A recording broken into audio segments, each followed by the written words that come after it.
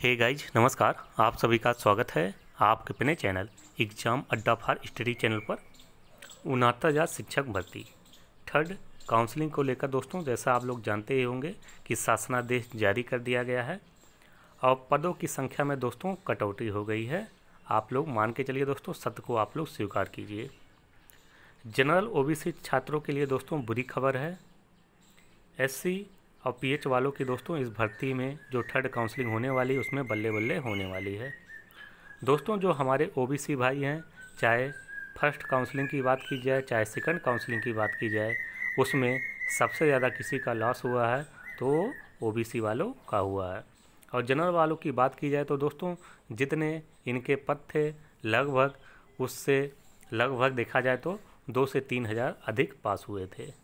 तो जनरल वाले जो हमारे भाई बहन हैं, इनका तो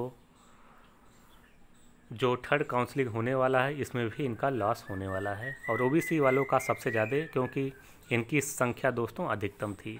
लगभग चौरासी हज़ार अभ्यर्थी पास हुए थे। और देखा जाए तो लगभग जनरल के जो जो हमारे भाई बहन हैं, इनका भी बयालीस या तिरालीस हज़ार के समथिंग दोस्तों ये भी पास हुए थे। और एस वालों का दोस्तों बल्ले बल्ले किस वजह से हो रहा आप लोग जानते होंगे। जो एस की लगभग 1100 सीटें थी, वो ट्रांसफ़र होकर दोस्तों एस में हो जा रही हैं। और पीएच वालों का जो हमारे विकलांग भाई बहन हैं, उनके साथ सेकंड काउंसलिंग में किस तरीके का बर्ताव किया गया, आप लोग जानते ही होंगे। क्योंकि भर्ती प्रक्रिया के नोटिफिकेशन में दोस्तों मेंशन किया गया था कि चार परसेंट रिजर्वेशन दिया जाएगा। लेकिन चार परसेंट की बात तो दूर दोस्तों, उनको नाम मात्र भी रिजर्वेशन नहीं दिया गया। उसी को जो मामला दोस्तों रिजर्वेशन का है, चार परसेंट का उसी का सार्ट आउट करने के लिए जो थर्ड काउंसलिंग होने वाली है तो उसमें देखा जाए तो दोस्तों पीएच जो हमारे भाई बहन हैं, विकलांग भाई बहन हैं, उनके लगभग साढ़े नौ सौ पद इस भर्ती प्रक्रिया में होने वाले हैं। और दोस्तों ऑफिशियल जो डेटा है, पदों की संख्या का, वो आपके अपने चैनल एग्ज़ाम अड्डा फा स्टडी चैनल को प्राप्त हो गया दोस्तों। उस डेटा के अनुरूप दोस्तों पदों की संख्या बहुत ही कम है, लेकिन जो हमारा और आपका दोस्तों मुहिम है कि अधिकतम पंग, अधिकतम पदों की संख्या पर दोस्तों थर्ड काउंसलिंग हो, वो मुहिम ज़रूर रंग लाएगी, लेकिन जो ऑफिशियल दोस्तों हैं पदों की संख्या, वो देखिए, आप लोग चौक जाइए खुद दोस्तों कि पदों की संख्या कितनी कम है।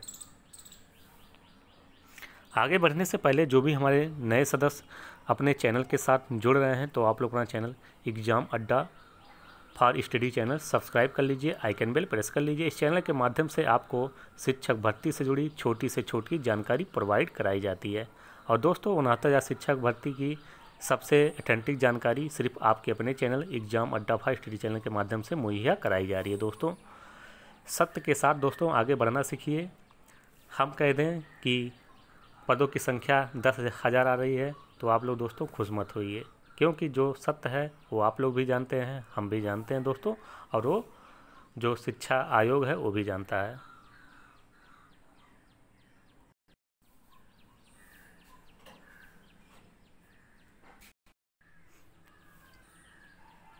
दोस्तों, खबर की शुरुआत यहाँ से करते हैं। बेसिक शिक्षा परिषद के सचिव ने मांगी सूचनाएँ।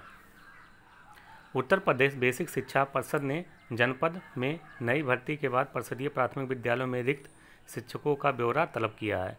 इस संबंध में सचिव ने बेसिक को पत्र जारी किया है। जनपद में प्राथमिक और उच्च प्राथमिक विद्यालयों में शिक्षक शिक्षिकाओं की तैनाती की गई। इससे स्कूलों में रिक्त पद भर गए। बेसिक शिक्षा परिषद के सचिव प्रताप सिंह बघेल ने बीएसए को पत्र भेजकर उनाता शिक्षक भर्ती के सापेक्ष जनपद में नवनियुक्त सहायक अध्यापकों की सूची भेजने का निर्देश दिया है। और पत्र में कहा कि प्रथम और द्वितीय चरण में सहायक अध्यापकों की तैनाती की गई थी। दोनों चरण में अभ्यर्थियों को विसंगति के संबंध में जारी शासनादेश के क्रम में बी स्तर से कार्रवाई की गई। जनपद भर में कितने पद रिक्त हैं? तो दोस्तों, उसका ब्यौरा मांगा गया है। जैसा आप लोग जानते हैं, शासनादेश में मेंशन किया गया कि हर ज़िले से रिक्त पदों का ब्यौरा मांगा गया है। तो दोस्तों, उसका जो ऑफिशियल ब्यौरा है, वो आपके अपने चैनल, एग्ज़ाम अड्डा फा स्टडी चैनल को प्राप्त हो गया। दोस्तों, आइए देख लेते हैं।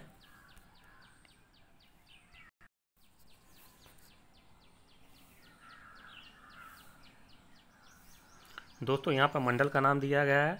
यहाँ पर जनपद का नाम, स्वीकृत पद, और अंतिम चयन सूची में सम्मिलित अभ्यर्थियों की संख्या दिया गया है। काउंसलिंग में उपस्थित अभ्यर्थियों की संख्या यहाँ पर, और अनुपस्थित जो काउंसलिंग में अनुपस्थित थे, उनका संख्या दिया गया। विसंगति, जिसके कारण नियुक्ति पत्र रोके गए थे। और निर्गत नियुक्ति पत्र, और यहाँ पर कितने पद खाली हैं, सभी जिलों में उसका ब्यौरा दोस्तों मेंशन किया गया है। तो दोस्तों, आपके देखा जाए तो मेरठ में ग्यारह पद खाली हैं, बुलंदशहर में आपके पंद्रह पद। गाज़ियाबाद में एक पद हैं। हापुड़ में दोस्तों आपके तीन पद हैं।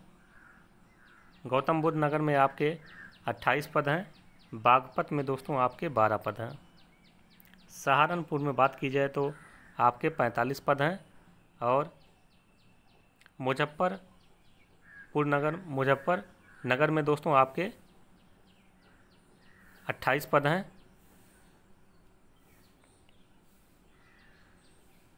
शामली में सत्रह और आगरा में चौहत्तर मैनपुरी में छत्तीस, मथुरा में उन्यासी, फिरोजाबाद में आपके छत्तीस पद हैं। अलीगढ़ में दोस्तों आपके एक सौ इकतालीस पद हैं। हाथरस में चौहत्तर, कासगंज में एक सौ तेरह, एटा में दोस्तों अड़तीस और आपके बरेली में छियानवे और बदायूं में एक सौ छियानवे पद खाली हैं। पीलीभीत की बात की जाए दोस्तों पचपन पद हैं। शाहजहाँपुर में उनतीस पद हैं। तो ऐसे से दोस्तों पदों का संख्या दिया गया है। कुशीनगर में आपके छत्तीस पद हैं, देवरिया में आपके सतहत्तर हैं, गोरखपुर में तिरास, तिरासी हैं, बस्ती में आपके इकसठ पद खाली हैं।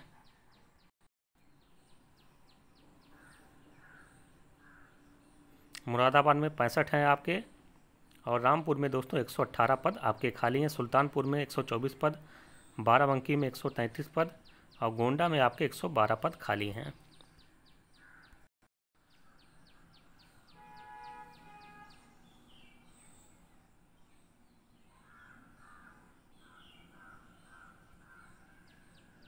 सब मिलाकर दोस्तों, इस सूची में चार हज़ार छः सौ इकतीस पद खाली बताए गए हैं। और तकरीबन बहुत से जगह दोस्तों ऐसे हैं जहाँ पर अभ्यर्थियों का किसी कारणवश दोस्तों उनको नियुक्ति पत्र नहीं दिया गया है और साथ में जिनका नियुक्ति पत्र दिया गया, जिनको उनका भी अभ्यर्थन निरस्त कर दिया गया दोस्तों, किसी कारणवश। तो सब मिलाकर दोस्तों देखा जाए तो जो थर्ड काउंसलिंग होने वाली है, इसमें लगभग छः हज़ार के आसपास थर्ड काउंसलिंग होगी दोस्तों। अगर कोई कहता है बहत्तर सौ, सतहत्तर सौ, आठ हज़ार छः हज़ार तो दोस्तों, आप लोग जो एक्चुअल है, लगभग छः हज़ार के आसपास भर्ती होने जा रही है। पदों की संख्या में दोस्तों और इंक्रीज हो सकती है। अब बात करते हैं दोस्तों इसमें ओबीसी और जनरल वालों की हानि क्या होने वाली है। जैसे दोस्तों, आप लोग मान के चलिए, लगभग साढ़े नौ हज़ार पद आपके सॉरी दोस्तों, साढ़े नौ हज़ार की थर्ड काउंसलिंग ही नहीं हो रही है। आपसे हम क्षमा प्रार्थी हैं। लगभग साढ़े नौ सौ पदों पर हमारे जो विकलांग भाई बहन हैं, उनके लिए सीटें आरक्षित हो रही है। और साथ में लगभग देखा जाए तो 1200 से के आसपास आपके 1200 से लगभग 1300 के आसपास में आपके एस वालों की सीटें आ रही हैं। तो यही दोस्तों मिलाकर लगभग देखा जाए तो 2200 सीटें यहीं पर निकल के हो जा रही हैं एस वाले भाई बहन के और हमारे विकलांग भाई बहन पर अब बात करते हैं दोस्तों कितनी सीटें रिक्त रह जाती लगभग आपके देखा जाए तो सैंतीस सौ सीटों में बटना है आपके ओबीसी और